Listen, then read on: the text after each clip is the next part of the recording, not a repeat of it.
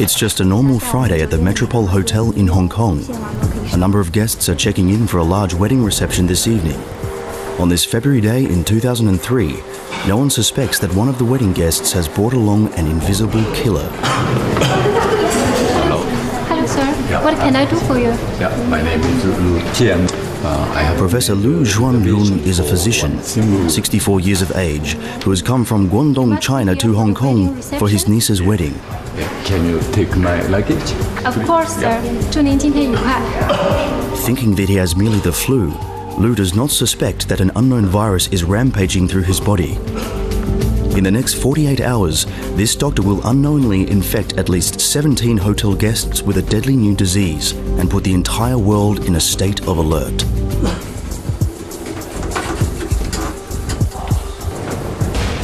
Before his departure, Professor Lu had been treating patients with febrile pneumonia.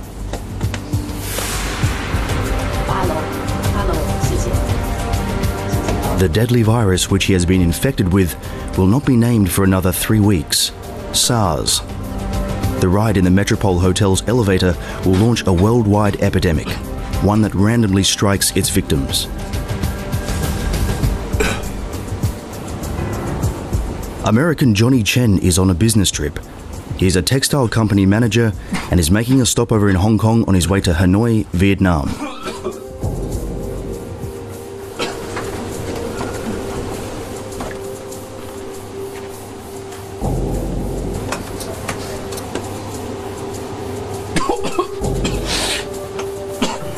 Canadian Kwan Su Chu has been visiting relatives in China. She is flying back to Toronto tomorrow. Approximately 50% of all the SARS cases in the world were linked, epidemiologically linked back to this Chinese uh, physician from Guangdong province. Wir werden ständig attackiert. We are constantly under attack. Viruses make countless attempts to invade the human body every day, from morning until evening, as well as during the night. Many more than the number of computer virus attacks from the internet. Internet. My main message is expect the unexpected. Yeah? So there is so much out there, we can never predict what's going to happen. Every cellular life form on the planet, whether you be a bacteria, a parasite, uh, a worm, a human, you know, animals and plants, they're all infected with viruses. And it's thought that just about every one of those species probably has at least one distinct, unique virus that infects it. And what that means by definition is that the most diverse forms of life on the planet are viruses. Viruses have been killing humans ever since the existence of mankind, even though we've only been able to see them since the creation of the electron microscope, a device that makes the invisible visible. Nobel Prize laureate Joshua Lederberg wrote, The single biggest threat to man's continued dominance on the planet is the virus. They are looking for food. We are their meat. Even though we know what the pathogens for polio, AIDS, dengue, measles, Ebola, SARS, or the bird flu look like, there are only vaccines for a fraction of these deadly viruses. In the 20th century alone, more people died from viral infections than from all the wars around the globe.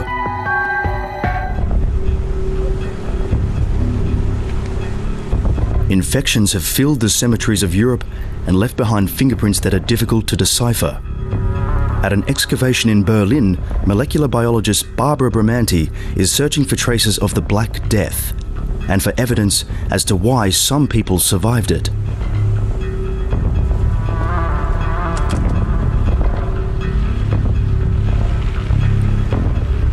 The Italian scientist is searching for traces of DNA in the teeth and bones of bubonic plague victims.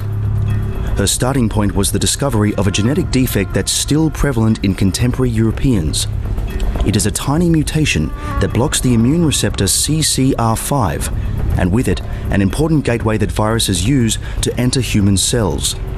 The same mutation now protects humans from a modern plague, HIV.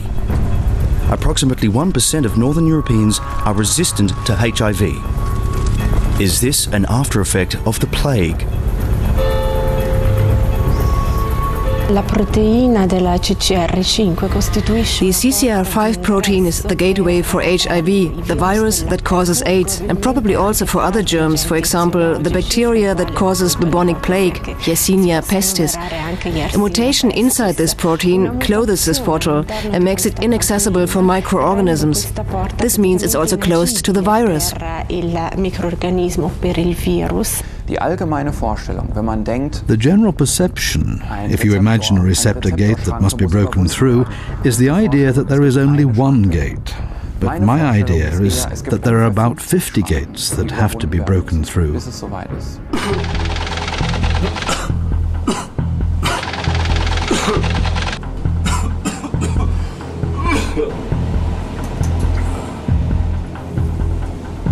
On the ninth floor of the Metropole Hotel, three flight attendants from Singapore head out to go shopping. They have no idea they are waiting for the elevator with Professor Lu, as is an airport employee from Hong Kong who had been visiting a friend in the hotel. Professor Lu wants only to rest. The dry coughing gets worse and worse. With each cough, he's launching droplets full of SARS pathogens into the air. Like all viruses, they are too small to have their own metabolism and cannot reproduce on their own. Outside of a living cell, they are nothing but lifeless dust. Like zombies, they constantly require new victims, in whose cells they awaken to life.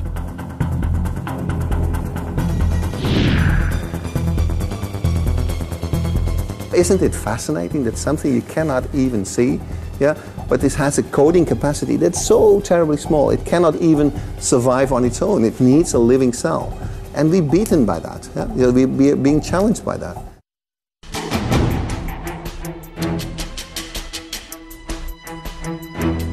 Albert Osterhaus is one of the world's foremost virus hunters. Like almost all of the world's experts, he is convinced that a mutated influenza virus will wipe out millions of people in the near future.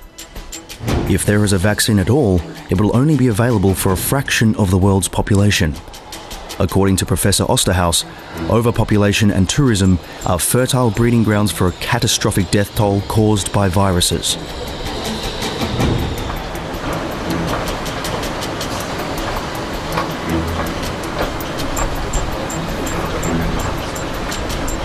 When there's too many animals or too many humans, by definition, there is more opportunities for infectious agents, including viruses, yeah, to actually uh, reduce the population. And that's a natural mechanism. So, so if, if our population continues to grow as it does, indeed, there, will be more opportunities for infectious diseases and especially for vir- viral diseases yeah, to actually combat the human species. SARS infected Professor Lu leaves behind a trail of millions of germs in the Metropole Hotel. They adhere to everything walls, handrails, elevator buttons.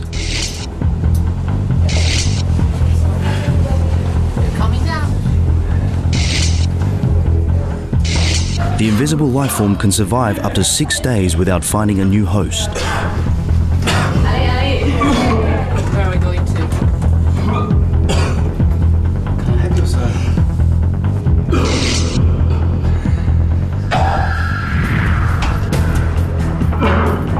The invisible droplets in the air that American businessman Johnny Chen has inhaled transport the first virus particles into his airways. There is a protein on each virus that is used like a grappling hook to dock onto a certain type of cell. Like biological pirates, the SARS viruses board the cells of Johnny Chen's respiratory system. Viruses have just one mission to copy themselves. This is the only way they can reproduce. With chemical messengers, they take over command of the cells and force them to churn out virus copies until the cell dies of exhaustion.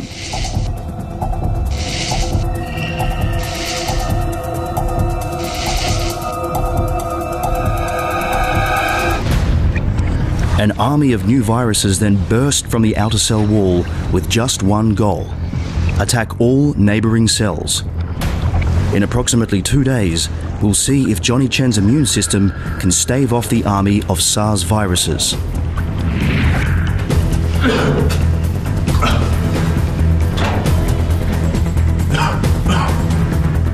Professor Lu has already lost the battle. His immune system is now in complete turmoil. As of this moment, everyone in the elevator of the Metropole is in a state of war with the SARS virus. And most of these viruses and other things that sort of spread quickly, like the flus and the SARS, effectively, somebody will be infected, they'll either die or they recover, and when they recover, they're, they're immune, so they're not capable of being infected again. So what that means is if you're a virus like that, you need constant fuel, you need more and more people, otherwise you're going to burn through your population, that'll be the end of you. The lab of Paul Bieniasz resembles a Jurassic Park for viruses. At New York's Rockefeller University, the British scientist has brought back to life a virus more than 35 million years old. Like HIV, it belongs to the family of retroviruses. At some point in the distant past, it infected the germ cells of our ancestors, becoming a permanent part of our genetic makeup. Almost one tenth of our genes are the residue of past infections,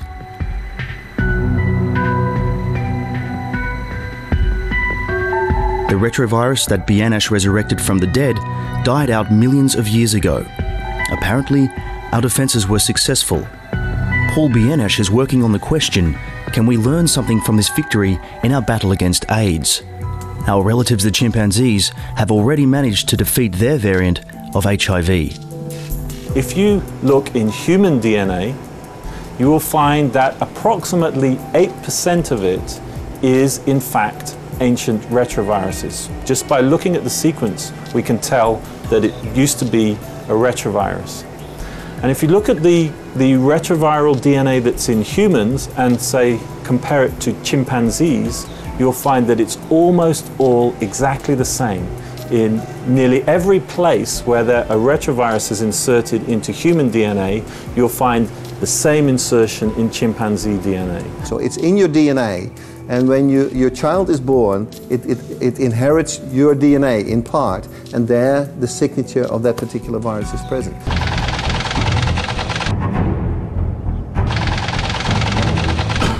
With the last of his strength, Professor Lu managed to get through the wedding banquet. But the day after his arrival, he collapses. The doctor is admitted to Kwong Wah Hospital in Hong Kong with a suspected case of pneumonia. Lu has just 10 days to live.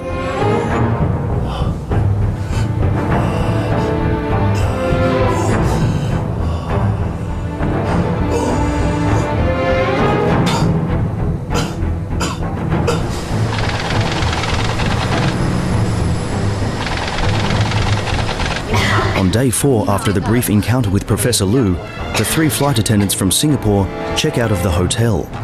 After returning home, they will infect a dozen doctors and nurses in hospital.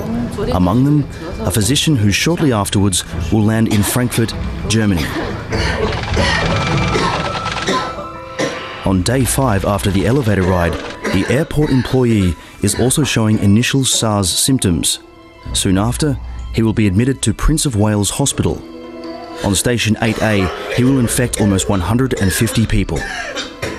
He's what's known as a super spreader, but he himself will survive the disease.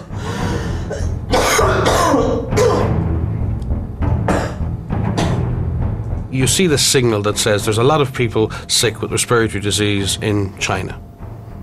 So what? People get respiratory disease in China every year. There are probably hundreds of thousands of cases. So, what is it about a signal that starts to worry you? Those of us that work on influenza worldwide, we're starting to think, my gosh, is an H5N1 influenza pandemic starting in southern China? A worldwide outbreak of influenza would mean that millions of people, yeah, if not tens of millions of people, yeah, will be dying. Yeah, and, and let's say 20, 30% of the whole world population yeah, will be affected, will be ill, will be in bed. The CDC in Atlanta is the headquarters for fighting epidemics in the US, with a yearly budget of $8.8 billion. The almost paramilitary organisation can send their deployment teams to outbreak hotspots all over the world within just a few days, if they are invited to do so by the affected country. The experts from Atlanta are considered the best equipped virus hunters in the world.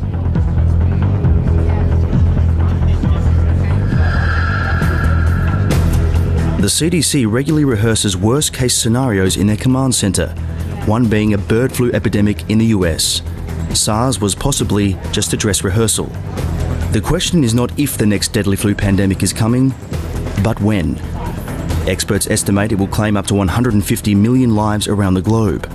In the CDC's 48 hour planning scenario, eight days after the start of the outbreak, there will have been 400 deaths. But this is just the beginning. We've gone to a situation where about 10% of all the people getting the infection are dying. That's way beyond our planning assumptions, but we needed to challenge ourselves with that because it's very possible that sometime, just as we saw in SARS, we could have an easily transmitted virus that did have a fatality rate that great. September 1918. The First World War is coming to a close.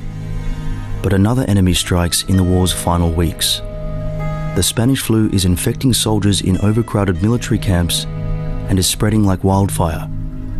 In emergency sick bays, doctors and nurses are practically helpless.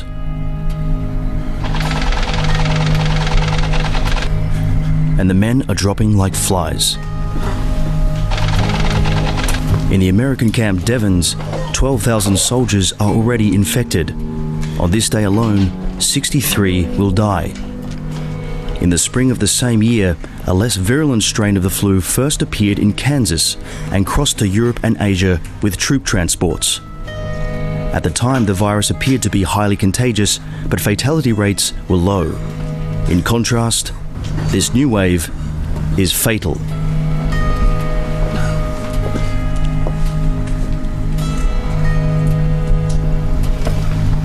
Over the next two years, the flu will have killed 50 million people around the globe, two and a half times as many as died in World War I.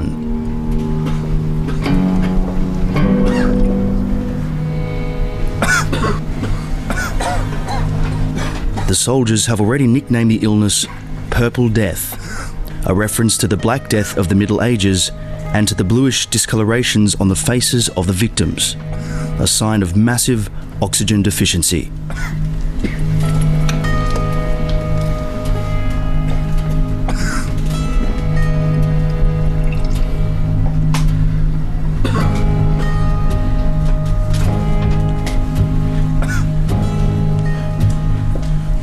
Just a few days after the onset of initial symptoms, those taken ill have a high fever and appear to drown from within.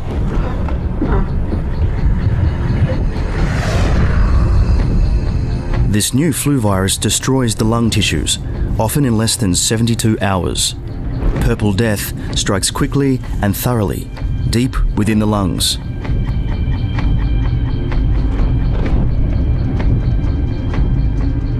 Doctors back then could not have known that this is a mutated bird flu virus, today classified as H1N1 because of the spiky H and N proteins on the virus's outer hull.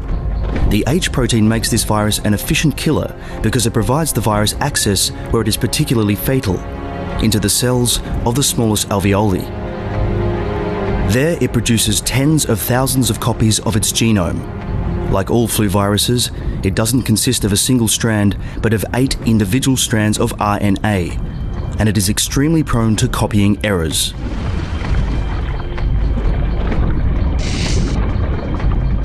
If we look at the three pandemics that occurred in the 20th century, the 1918-1919 pandemic, the emergence of H1N1 virus, data suggests that that virus was a direct mutation from an avian virus. And what we have seen happening in 58, uh, 57 and 68 is that, that in that case the two viruses got together in one cell, they free their genetic material, and like, like uh, shuffling a deck of cards, yeah, you, you can get you can shuffle genes between these two viruses and get a whole new virus. And this virus has the ability to go from human to human. The exchange of genetic trump cards is always fatal when the new virus manages to be transmitted from person to person, while at the same time changing the chemical structure of its outer hull. The immune system's antibodies have no trouble recognizing old, well known flu viruses and eliminating them. However, the new mutants are suddenly camouflaged, making them invisible to the immune system. The human body developed new counteragents, but not before a painful learning process that claimed millions of lives in 1918. the virus itself succumbed in the end to the efficiency of its destructive work. Survivors were now immune and had killed everyone else.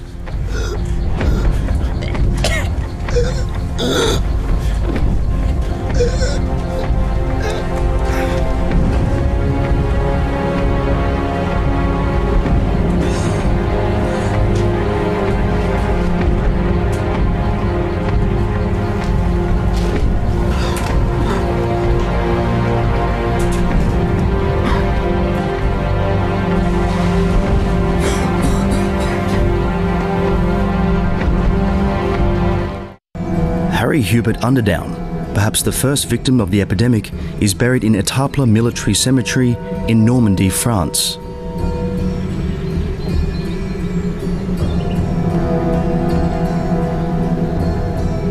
London's star virologist John Oxford and historian Douglas Gill want to show that as early as 1916, two years before the Great Die-Off, soldiers were falling victim to the Spanish flu and that the Purple Death was only just getting warmed up here. H1N1 initially killed only a few people, and it wasn't until its second or third season that it mutated into a killer virus. John Oxford fears that the current bird flu virus H5N1 may be making a similar test run. In 1917, Dr. Hammond, the camp doctor in Etaples, warned about the new influenza. Douglas, I found Harry. Oh, right, there he is. Harry Underdown. But even the valiant Dr. Hammond himself might have underestimated its ultimate dimensions. Could we possibly be making the same mistake today? With this worry about H5N1, uh, people keep saying to me all the time, they say, well, how many people have died? A couple of hundred? Uh, and I say, yes, 200. Uh, and then they say, well, there's nothing to worry about, is there? Well, there's 6 billion people here. What's, what's 200? And I would say to them, go back to Etaples, go back to the First World War, go back to the greatest outbreak of any infection the world's ever known. That's the 1918. But go back earlier, go back to Etaples and ask the question there. And if you saw Dr. Hammond, and you could say, how many people have died in your camp, Dr. Hammond? He would say 145. And you would say to him, well, do you realise, Dr. Hammond, that within 18 months, this is going to transform itself, this virus, and it's going to kill 50 million people? He would probably say, you're mad. Go back to the 21st century. On day six after the elevator ride with Professor Lu, Mrs. Kwon Soo Chu is back in Toronto with her husband and family. The SARS virus travelled with her. Mrs. Kwan will live just one day longer than Professor Lu. Her son will unknowingly trigger a dramatic SARS outbreak in Toronto. He will also die of it. His wife and young son will survive the disease.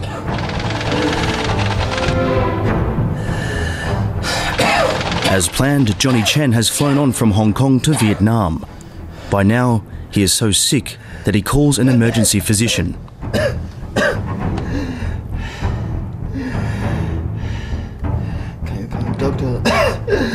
In the French hospital of Hanoi, he'll infect 20 people before doctors ask the WHO in Geneva for help. Looking at SARS mathematically, we can say that its basal reproductive rate, the R0, is about 3.6. That is roughly one third the value of a normal influenza virus, and about one tenth of chickenpox. And what this R0 value means is I'm an average infected person, and in the case of SARS, I will infect 3.6 persons.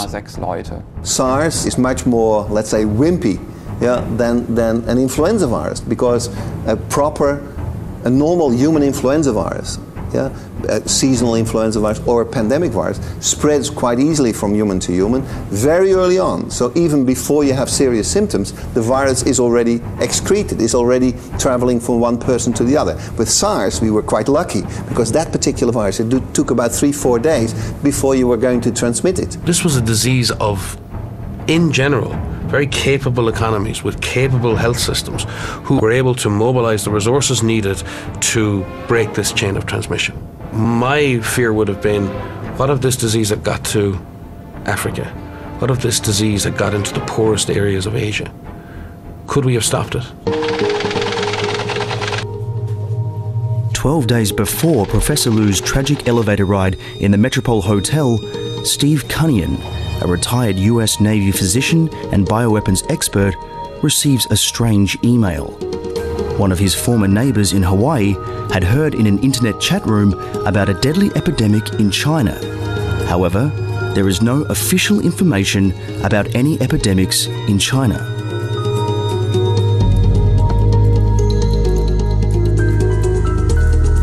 Steve Cunnion immediately forwards the mysterious information to ProMed, an internet news service about infectious diseases. Anyone can post messages about possible outbreaks, which are then reviewed for credibility by a team of experts. ProMed has been fighting against the lack of transparency in health bureaucracies. The first thing you do in an outbreak investigation is you go to the source of the information. And so when neither CDC nor WHO came to me and asked me about my email on ProMed, uh, that essentially told me they knew about it beforehand.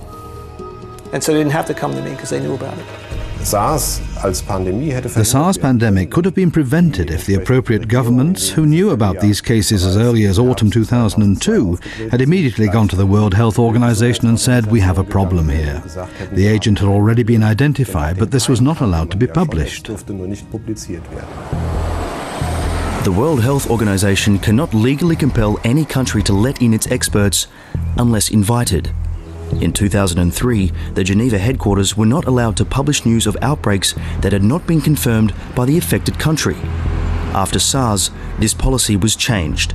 The difficulty in SARS was every time we looked around, there was another fire somewhere else. And that's very difficult to deal with because the demands on the organisation changed. The demand wasn't to do something about an isolated incident. The demand uh, was, was now what's happening? Is this going to spread all the way around the world? Where is this disease going to arrive next? In the jet age, every point on the map can be reached in less than 36 hours. That is less time than the incubation period of the majority of viruses. Tokyo is just a short hop from New York, as Borneo is from Frankfurt. Deadly pathogens stow away aboard airplanes in the bodies of those infected, those who don't even know they're sick. A new record of 2.5 billion flights around the world is forecast for the year 2010. Modern cities like New York offer viruses millions of potential victims. Densely crowded, highly stressed, and frequently exhausted.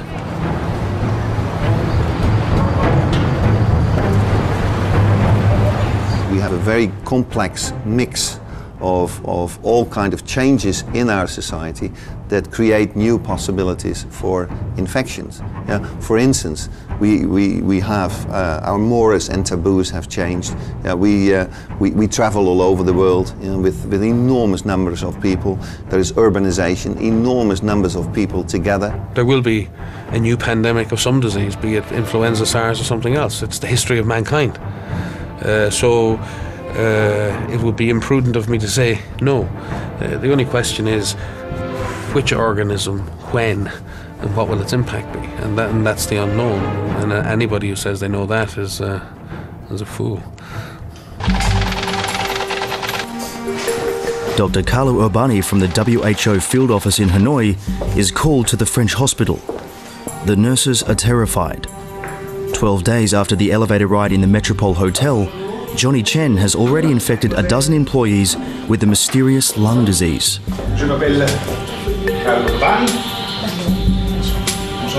He was the only WHO representative there at the time. He's a parasitologist, but uh, he had a pretty good handle on infectious disease control for, uh, for his position, and he, he did an excellent job. Dr. Urbani um, to me, is the hero of SARS for many reasons.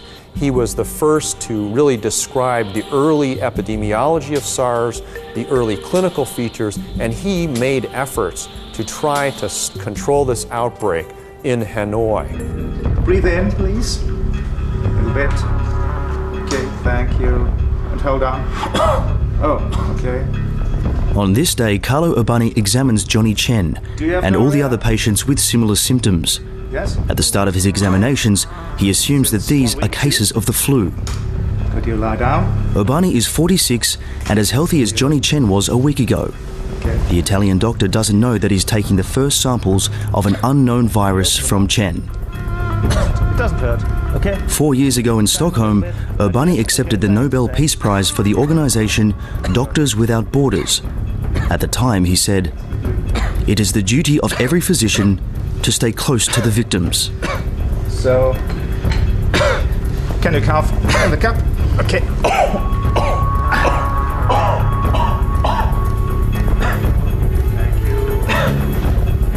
Johnny Chen's body is desperately trying to kill the unknown virus with a high fever, but the air exchange in his lungs is already dramatically impaired.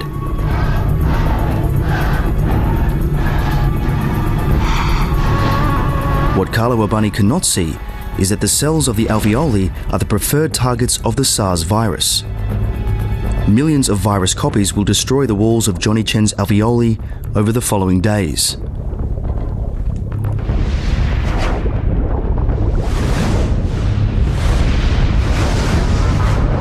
It won't be until months later that scientists discover that a protein on the spikes of the SARS virus is the key.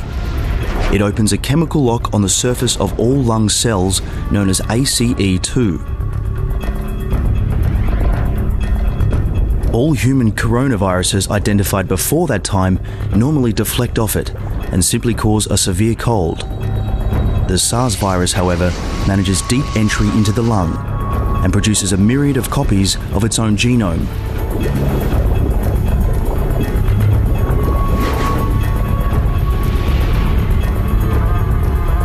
This will cause Johnny Chen to drown from within.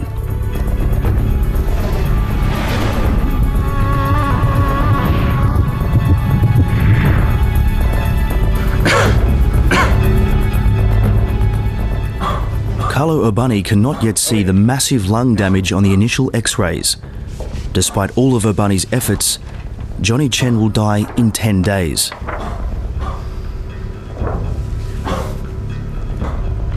Tu es sûr que c'est le- ce sont les, les jumeaux de, de, de lui When those cells are destroyed, if something goes wrong there, you have a very serious problem because, first of all, your exchange of the CO2 and the O2, yeah, so the normal exchange doesn't happen anymore. And also, you start, you start a process of, of leaking. Carlo Urbani is alarmed. He implements hygiene and quarantine measures primarily to protect the healthcare personnel. He examines the patients for six days and finally puts an end to the conspiracy of silence about this new illness. But when Urbani's wife Giuliana learns of his mission, questa non she is deeply distraught. Questa uccide davvero. Carlo, io non sono per niente tranquilla. Questo contagio è troppo veloce. Tu devi pensare anche a te, a noi. E hai tre figli, non te lo dimenticare. Io penso a te, ai nostri figli, ma ci sono altri genitori che hanno figli. E vabbè, ne riparliamo dopo a casa. Ciao cara. Ciao. A dopo. Ciao.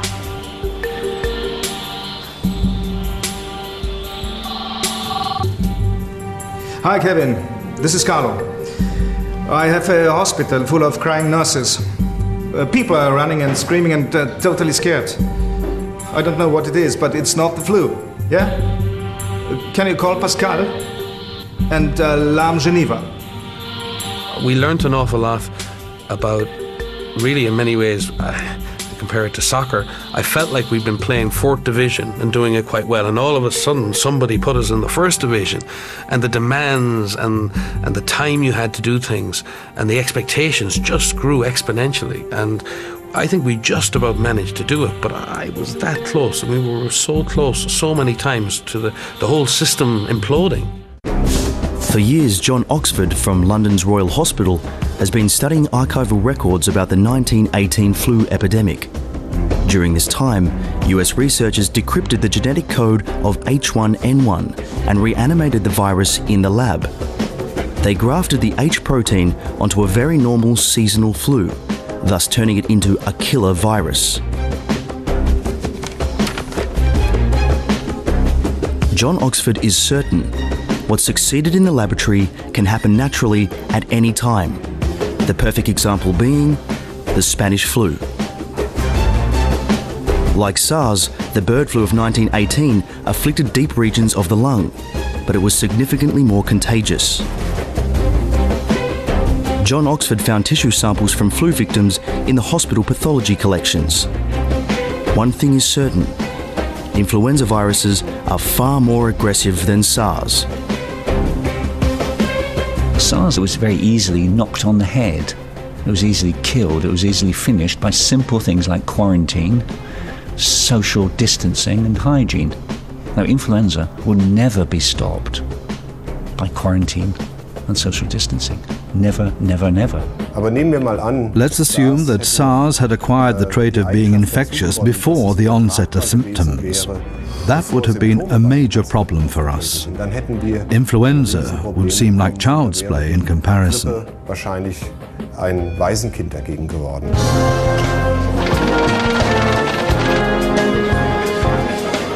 CDC headquarters in Atlanta is on red alert. Flu expert Tim Uyeki is preparing to leave for Hanoi to assist Carlo Urbani. Yet urgent questions are still unanswered. Which face masks should he take?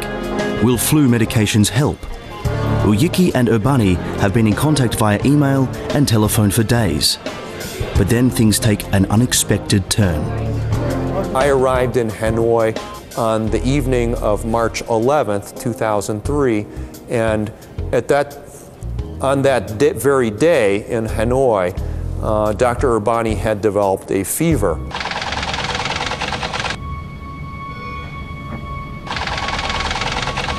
Carlo Urbani, despite the fever, has flown to a conference in Bangkok. After being rushed to the hospital, the doctor knows he must have been infected with the mysterious virus.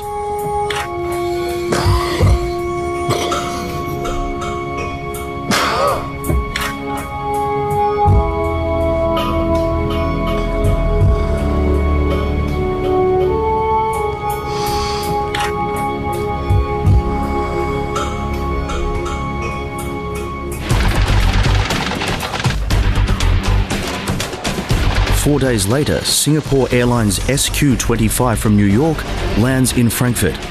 Passenger Ho Nam Leong, a physician from Singapore, was at a conference in the US and became ill. As he boarded the plane to Frankfurt, he called one of his colleagues, who in turn notified WHO.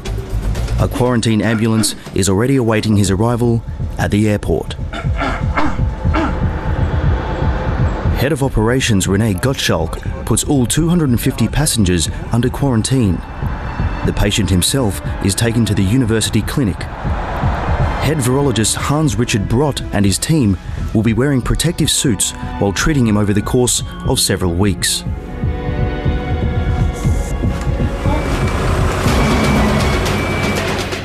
Dr. Leong was treating patients with suspicious cases of pneumonia in Singapore, including Esther Mok, one of the three flight attendants from Singapore who was infected in the Metropole Hotel. The deadly pathogen from Asia came through the US to Europe in the body of her doctor.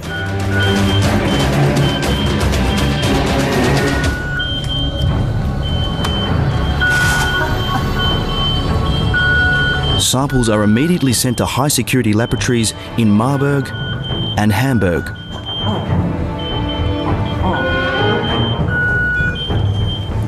The physicians in Frankfurt will save Dr. Leong. The SARS attack was warded off in Germany. The SARS virus was really quite enough for us. A germ that in part can jump from one super spreader patient to 170 others, and that is lethal in 10% of the cases. That is a highly dangerous germ. Ist ein hochgefährlicher Keim. Reacting to the SARS case at the Frankfurt airport, WHO headquarters in Geneva now rolls out their heaviest artillery. For the first time in its history, the World Health Organization issues a global alert. In order to give this demon a name, WHO labels it Severe Acute Respiratory Syndrome, abbreviated SARS. Instead of dealing with one distressed member state, we were dealing with 192 distressed member states. And the political and the, the communications aspects of that. How does WHO maintain credibility? By putting out credible messages while at the same time not providing too much reassurance about what we don't know.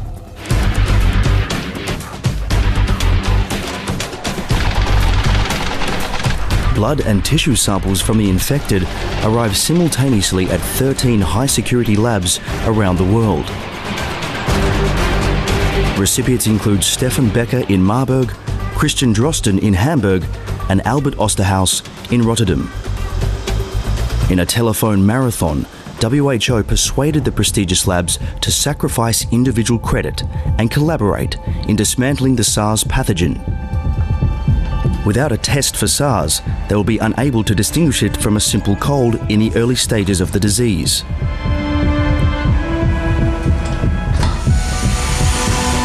Under the strictest security, for the first time the SARS virus is seen beneath electron microscopes. Its genome is decoded.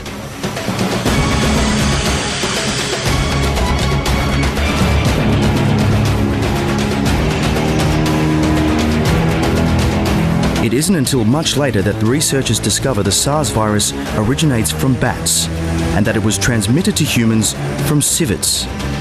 Civets are a culinary specialty in southern China.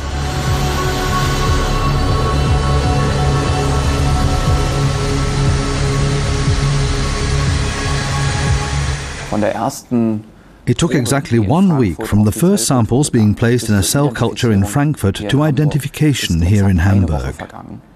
And for four days of this week, the cell culture just sat around. You have to admit, that was extremely fast. It was unique in history. I think that, uh, that you had a human virus disease or a human infectious disease, and that the problem was solved basically in a month in a month's time. If you would have led that to the normal system of competition, it would not have worked. It would have taken much longer. And I'm even afraid that it would have gone to a pandemic situation, that that particular virus would have spread worldwide. It's unprecedented in human history that a disease has emerged into the human population in an explosive fashion and has been put right back in the box within in, in, in, in, in evolutionary terms, a, a tiny amount of time. So I think the world has to take great credit for that. I think, on the other hand, what we learned is, well, are we vulnerable?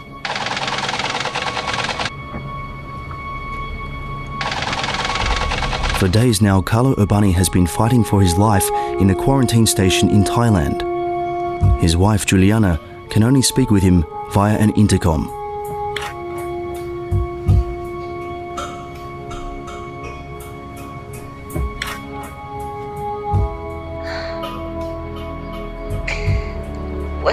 Vuoi bene?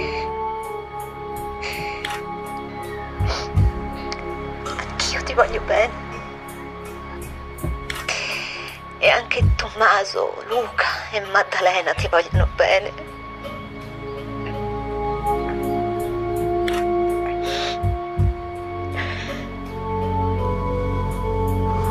Giuliana, scusami. Mi hanno dato la morfina. Lasciami dormire.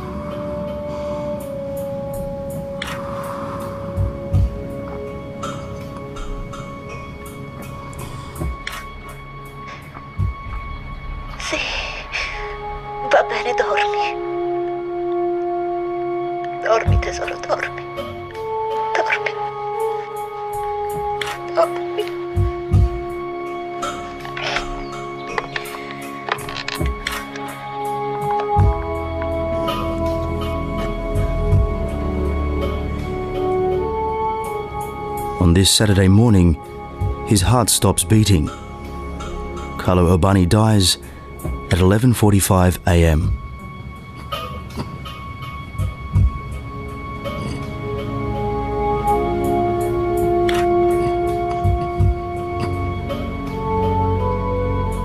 To this day, there is no cure for the SARS virus. There is no vaccine. So doctors can't do anything but simply treat the patient's symptoms to keep them alive. And with SARS, the main organ affected is the lung. The virus massively reduces lung capacity, especially in older patients. And in the end, they suffocate from within. In Atlanta next year, they will continue their exercise of the bird flu outbreak because a mutated influenza virus is the next most likely enemy. The CDC experts will close airports and schools, organise ambulance services, distribute medication, and secure the supply of foodstuffs or of coffins.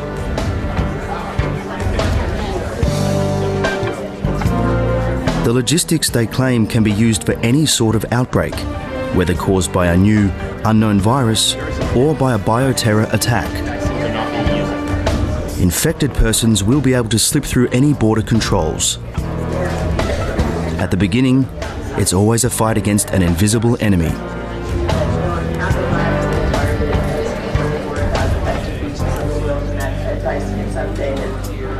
It's a global community now uh, where we're all spending half our time running around the world. And so we're all at risk. It doesn't matter where it starts, it will be on our doorstep within 24 hours.